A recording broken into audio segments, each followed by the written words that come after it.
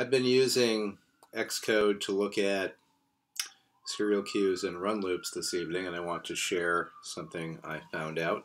It may be common knowledge, but it was news to me. So I'm going to go here, I'm, I'm going to pick a black pen, and as usual, we're going to draw our main queue over here, which has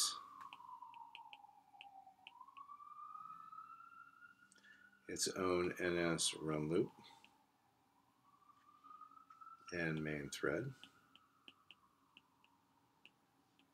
I'm going to call this run loop run loop A tonight. And we're going to actually give it a color. I'm going to call this run loop. I'm going to put it inside here just because I need some place to put it. Whoops, that's not what I wanted. Let's go get that blue pen again. Give it to me. Good. That'll do. So this is run loop A. Okay. Then,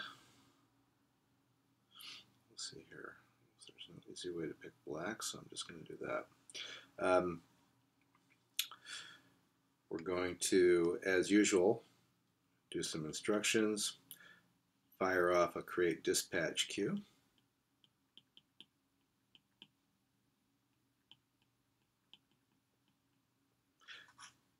Which we're going to use to create a serial queue here.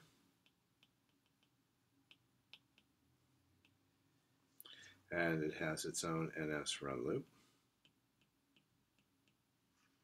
and its own, we'll call it, um, I'm not going to call it worker thread because that's what the other threads are. We're going to call it the uh, running or the uh, control, control thread. That will do nicely. We're going to call this B, and we're going to pick the color red. Seems to give me an issue there now all of a sudden. And this is going to be B.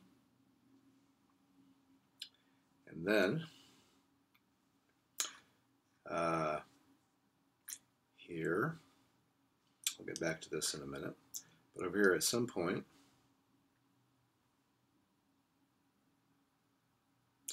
we're going to call dispatch queue again. I'm just going to write DQ, and it will create another serial queue that I can do some work on. Over here, we're going to have our GCD thread pool.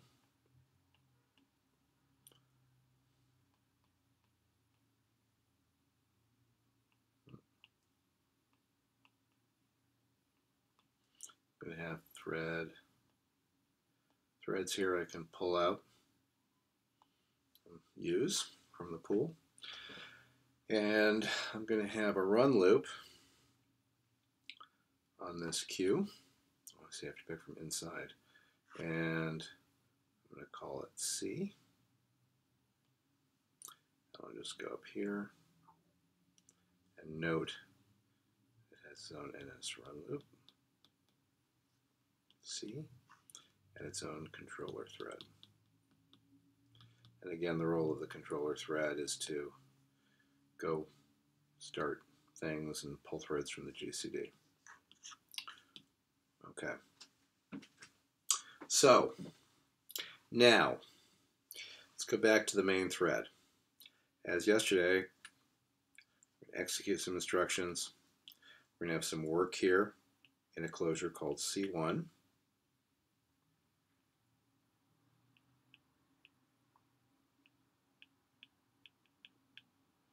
And it's just going to do a print.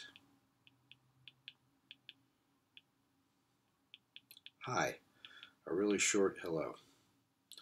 So we have a C1 here, and we have C2 down here, and it will do kind of the same thing.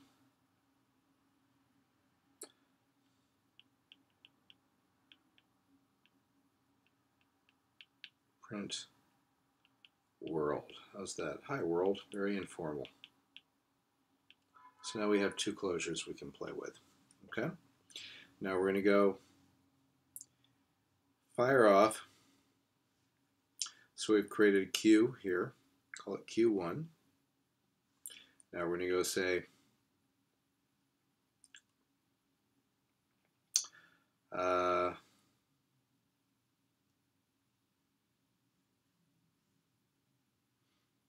Q1. I get it there? Whoops. Yep, there it is. That's what happened.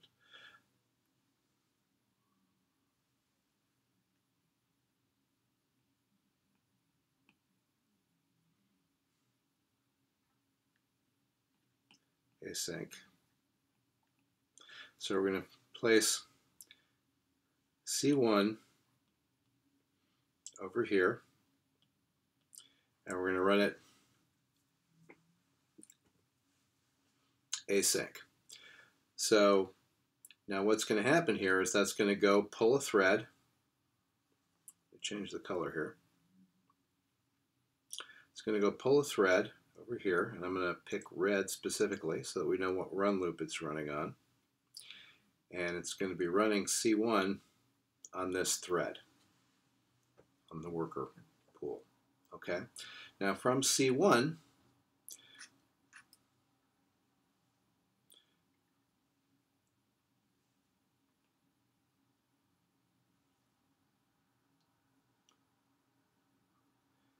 we're actually going to be creating the dispatch queue here. Right, so that's where it's created from inside C1. And going to go create Q2. And we're going to fire a sync, q2.sync. And we're going to just make it closure C2. It's going to go over here and run over here, sync. Okay. The control thread is going to go pull over, and I'm going to do it. Now here's the thing, this is going to surprise you. I'm going to do it in red again. You're going to say, really? But we're running on a different queue. Well, here's what I found out. Oops, let me back that up.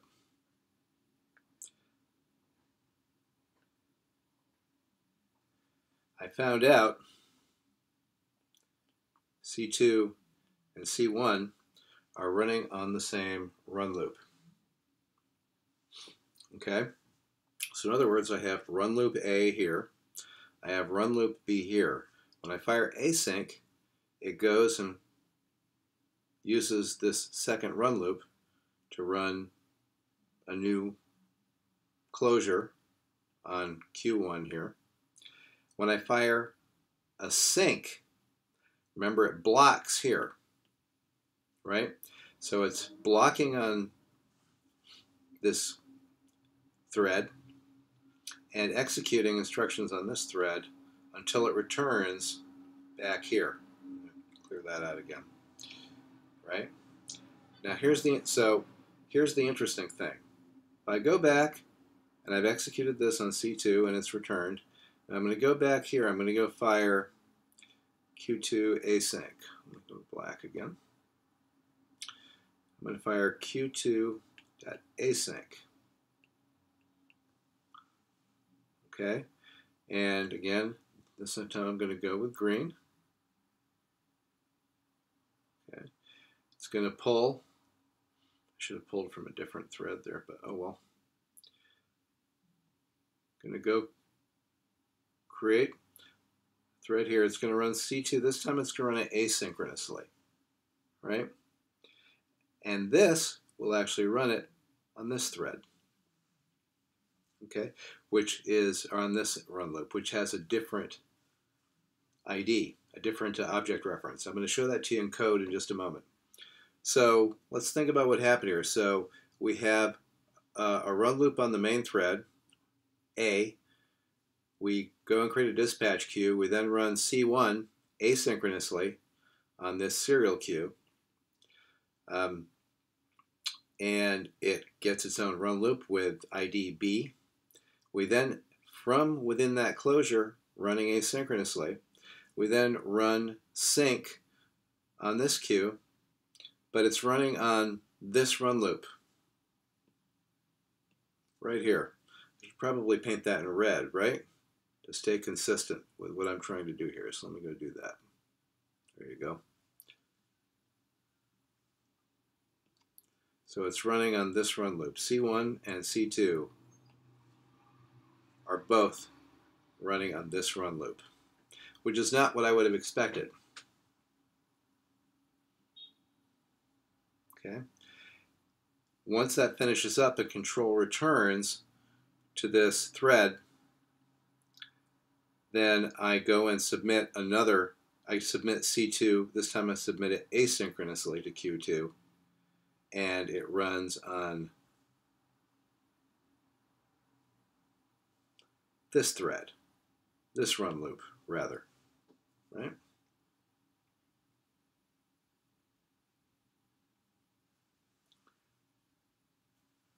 Now let's look at some code. This is not what I would have expected. I would have expected uh, one of two things. Either that when I submitted this C2 synchronously to this queue that it would have gotten this run loop here, or I might have expected that it got a completely different assignation. I, the last thing in the world I expected was that it would get, get exactly the same run loop from this queue. And next we will look at some code.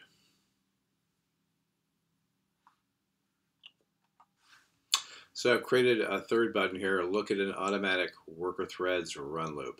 When I went back to the 2012 uh, uh, Daniel Steffen talks, this is how he refers to the threads that are pulled off the GCD thread pool and used by the queue to run closures submitted from uh, other queues, okay, from other threads. Um, so let's go here. Let's look at the quickly at the code I wrote. Look at thread run loop. So very simply, I create a queue from the main thread, and then I look at the serial number of the main thread's run loop, There are the ID number, the object reference number.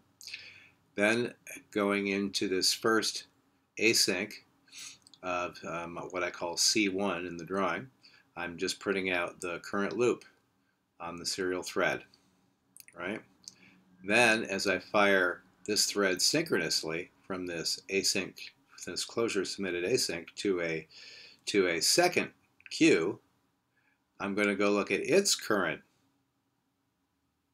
thread and finally, I'm going to fire, so once it returns, because I'm blocking here, right, I'm going to fire it async, and I'm going to then look at its current thread.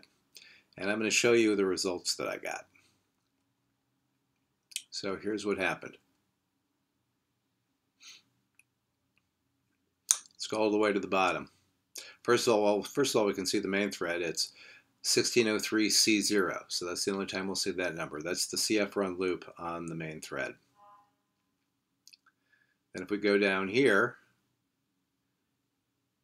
we see on the first serial thread 16 165B80. And just to remind you, that's the closure submitted synchronously or submitted asynchronously from the main thread. So that's the first C1 submission running in red, right? Now if we go down, we're going to see the sync I should say, right, that should say after async, yes, but this is the sync. So this is the sync method of C2 submitted to the second queue. And you'll notice 165B80, it has precisely the same run loop, right? And if you think about it, it's kind of clear what's happening. It's just keeping events, you know, it's saying you're running it synchronously.